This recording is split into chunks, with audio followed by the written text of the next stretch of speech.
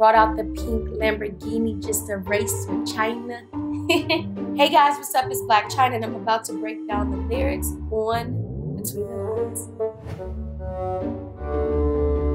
Lines. Writing music is like a hard thing and to like actually plug in names and still make it make sense, that's even fire. I love it. And I love like the shout outs and stuff like that. I appreciate it a lot my first song I've ever recorded, like I drove all the way to like Long Beach and it was like at somebody's house in the back garage. It was so hot. Since then, like I've actually built a studio in my house. So I just go over there and I can record whenever I want. The thing about music is it's a total different thing from from television. When you start recording music and you go inside that booth, it's a different, it's a whole different vibe because you gotta like let people feel how you feel through the mic. Miss Me by Drake. Call up King of Diamonds and tell Chyna it'd be worth the flight. I'll be at my table stacking dollars to the perfect height. When I first heard it, I was like, wait, what? Drake put me in a song? What? Everybody's like, yo, Drake put you in a song. I'm like, stop, stop, stop. And then I heard it, I'm like, oh, he really put me, he really put me in the song. He came in there um uh, with two of the guys. I think it was CJ and somebody else. He definitely threw some money once. When I was doing like my modeling and stuff, I would see like other girls' interviews and they'd be like, oh, I'm a model, da da da. But when I did mine, I was like, look, I'm a stripper. This is what it is. I'm gonna keep it real. So it was it was it was all good. Sugar Parents by Amine. Look, baby, I am one of these old heads. If you give me Blac Chyna, I'm gonna leave you on red. All right, so I guess if I start talking to him, then all the girls is gonna have to pay dust. I'm assuming that he's young, but I want to know how young because I feel like I'm an old head. No, I don't really have that many rappers in my DM. I gotta check my DM actually. Rake It Up, Nicki Minaj.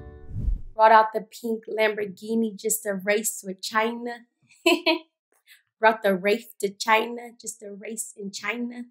this is my third Nicki Minaj video that I was in. I, I have flew to Miami shot the video. We raced. I actually won the race. I did that video and then I did um Come on a Cone. I was actually pregnant with King at the time. So like we shot it from like here up. Yeah, I mean Nicki, um when I I recorded a few songs and she was out here and I went to the studio and I played her um some of my songs, you know, any any new artist is gonna be nervous, you know what I mean? But aside from that, we're friends, so she's gonna be blunt and honest with me.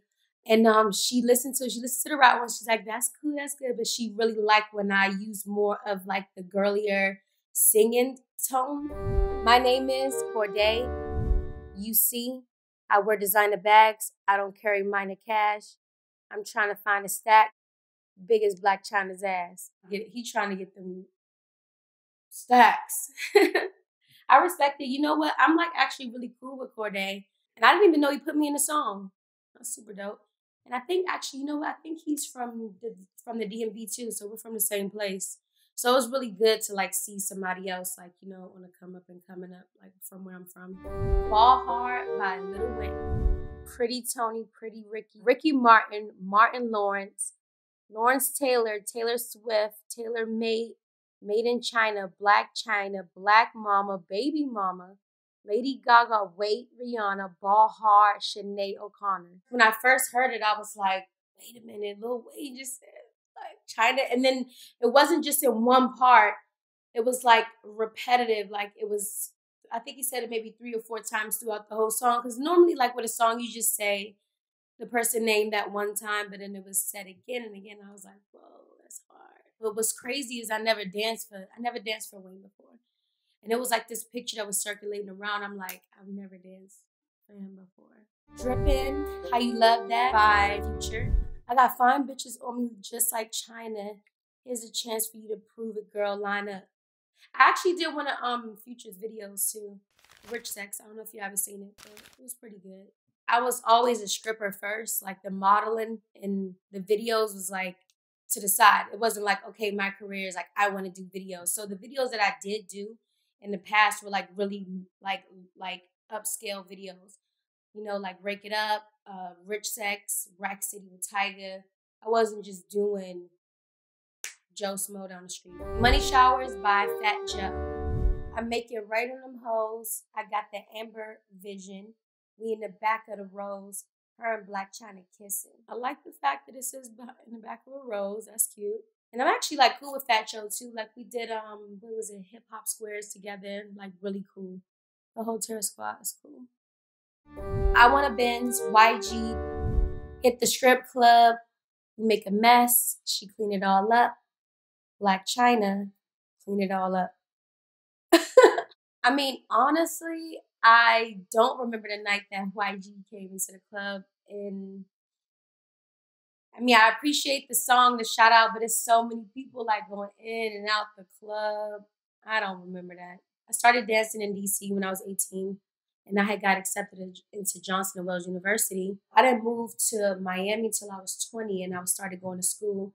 Um, I just left all that stuff. I put whatever I could fit inside my um in my charger at the time, put it on the auto train, and I was out of there and never looked back. I even like lived on the campus and stuff, but I was like, you know what, I gotta get from up out of here because these are little kids and I'm way too advanced for this. Like, I got to get out of here. So I got me my condo, but um, it was a good experience for me. I actually went there for um, business management and I learned a few things that helped me now in my career.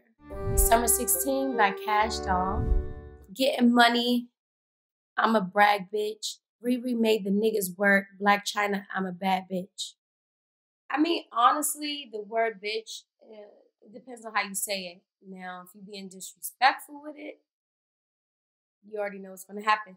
But if you're just talking to your girlfriends or whatever, you like, bitch, I gotta tell you, or bitch, ooh, that's a bad bitch. It's just different. It's, it's different layers to it.